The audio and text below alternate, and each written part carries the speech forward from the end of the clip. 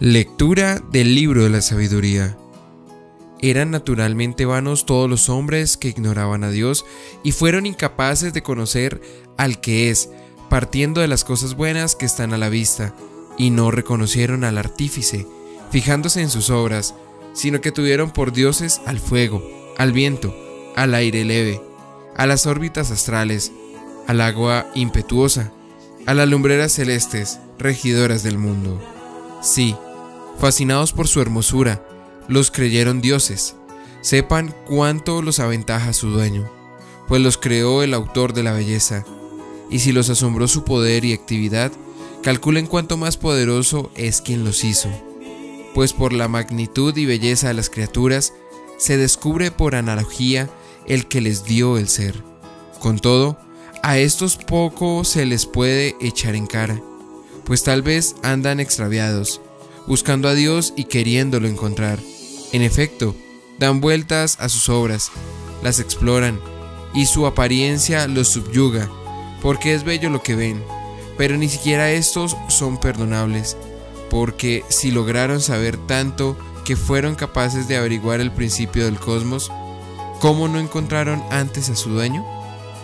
Palabra de Dios.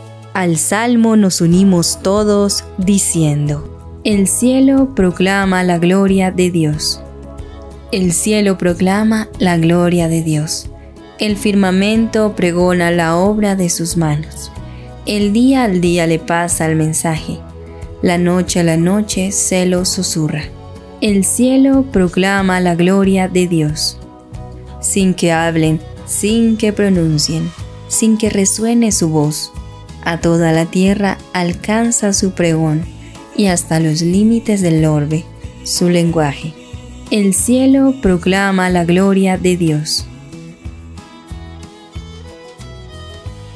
Qué bello momento vivimos a través de la palabra de Dios, que nos hacen crecer día a día,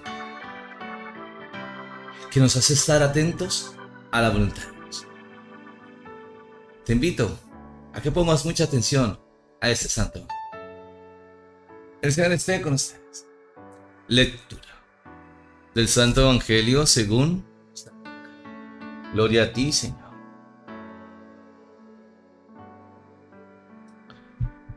Como sucedió en los días de hoy, así será también en los días del Hijo del Hombre. Comían, bebían, tomaban mujer o marido, hasta el día en que entró Noé en el arca. Vino el diluvio y los hizo perecer a todos. Lo mismo sucedió en los días de Lot. Comían, bebían, compraban, vendían, plantaban, construían. Pero el día que salió Lot de Sodoma, llovió fuego y azufre del cielo que los hizo perecer a todos. Así será el día en que el Hijo del Hombre se manifieste. Aquel día el que está en el terrado y tenga sus enseres en casa, no baje a recogerlos. Y de igual modo, el que esté en el campo, no se vuelva atrás. Acordado de la mujer de Lot, quien intente guardar su vida la perderá, y quien la pierda la conservará. Yo lo digo, aquella noche estarán dos en el mismo lecho, a uno tomarán y al otro lo dejarán. Habrán dos mujeres moliendo juntas, a una la tomarán, a la otra la dejarán. Y le dijeron, ¿dónde, Señor? Él le respondió, donde esté el cuerpo, allí también se reunirán dos Palabra del Señor. Gloria a ti, Señor Jesús. Vamos a pedir la luz del Espíritu Santo para que podamos comprender esa santa palabra que para algunos puede dar miedo. Pero el que está en Dios, el que cumple sus palabras, comprende que es llamado a la vida eterna. No hay que tener miedo porque nuestra vida es de Dios. Espíritu Santo, ven sobre nosotros. Para que podamos comprender esta santa palabra. Que nos invita a estar atentos en oración. De descubrir la voluntad de Dios. Porque somos de Él. En Él vivimos, nos movemos y existimos. Y como hijos de Dios, somos llamados a contemplar sus maravillas. Acompañado del amor maternal de la Santísima Virgen María con todos los santos y ángeles de Dios. Amén. Mis queridos hermanos y hermanas, ¿cómo estamos viviendo nuestra fe? ¿Estamos creyendo en las palabras del Señor? ¿Realmente tenemos un corazón dispuesto? Porque veremos a través de esta palabra que ha sido proclamada que en el tiempo de Noé no creyeron lo que decía Noé y vino el diluvio y perecieron.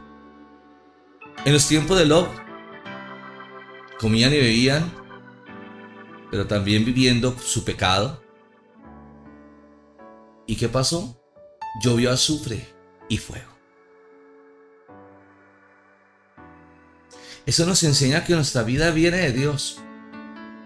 Y si está en Dios, debemos hacer su santa voluntad.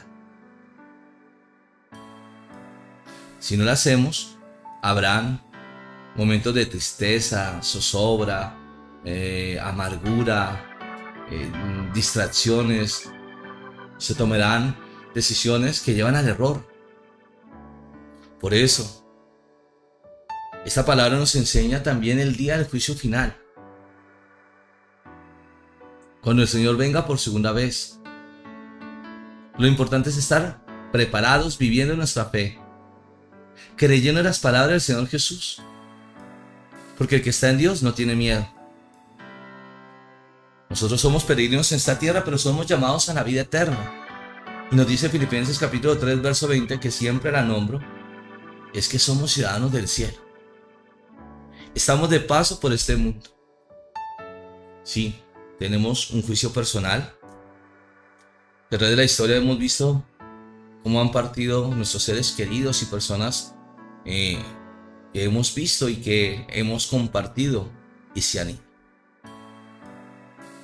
Por eso que nos enseña la palabra, estar atentos, confiando siempre en la voluntad de Dios. en vivir su palabra, en reclamar esas promesas que se dan a través de la palabra de Dios. Qué hermoso cuando vivimos el regalo de la Eucaristía, que nos dará esa paz, ese gozo, porque somos de Dios. ¿Y habrá un juicio final? Sí donde el que está, aquel que está en el terrado, pues no baje a recoger sus cosas. O el que está en el campo no vuelva atrás. ¿Qué hay que hacer? Abandonarnos en Dios. Estar en Él. Por eso dice San Pablo, para mí la vida es Cristo. ¿Y si es Cristo? Nos enseñan los grandes santos y especialmente los que murieron en el martirio, a no tener miedo, porque ellos entregaron su vida por la verdad. Y mire que esta sangre estos mártires es semillero de nuevos cristianos. Por eso nadie puede callar nuestra fe. Nuestra fe es un tesoro grandísimo, bellísimo, que viene del amor de Dios. Lo importante es enseñar a través del amor. Y vivir nosotros como hijos de Dios, como humanidad. Ese regalo de la fe que viene a transformar vidas, a dar bendiciones. Ver cómo Dios se manifiesta a la humanidad. Para que juntos veamos los regalos de Dios.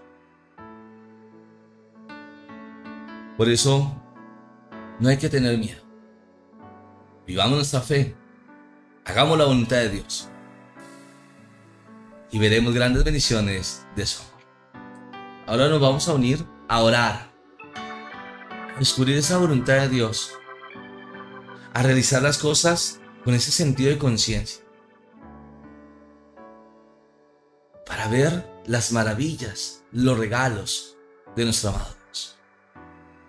En el nombre del Padre, del Hijo, del Espíritu Santo. Padre Señor, te damos gracias. Siempre te manifiestas con tu amor y tu ternura. y que a través de las palabras de tu Hijo Jesús nos enseña a estar atentos, a descubrir cuál es tu santa voluntad. Que no nos dejemos distraer por el mundo, con esas situaciones y peligros que se corren. Leyes de muerte, atractivos a través de la tecnología.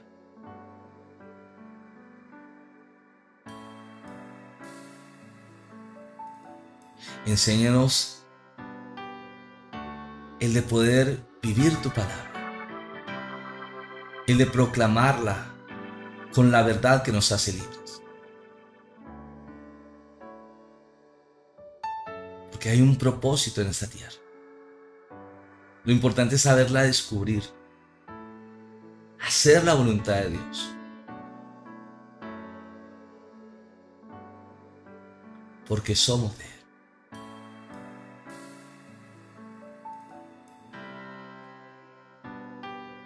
Los hijos de Dios no tienen miedo. Al contrario, es la fe, es la convicción, el amor y la misericordia que nos lleva a proclamar la verdad, de hablar de lo que el Señor ha hecho, de sus maravillas.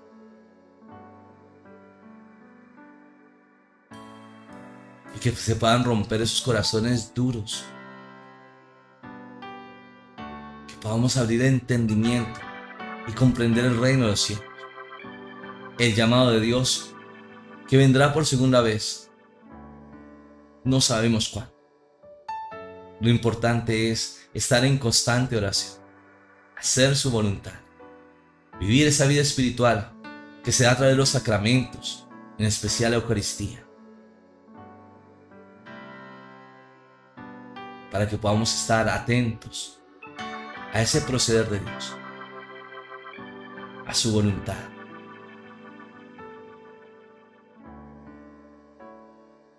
porque hemos sido llamados a la vida.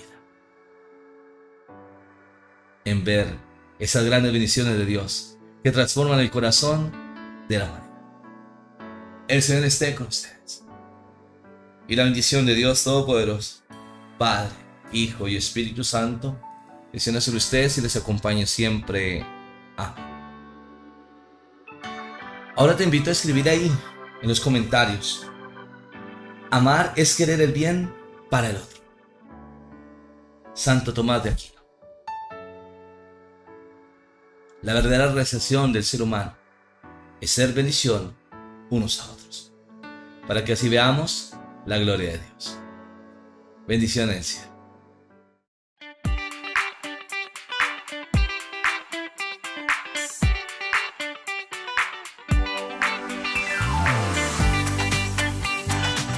No se te olvide seguirme en las redes sociales, Pares y Franco, compartiendo los regalos del cielo.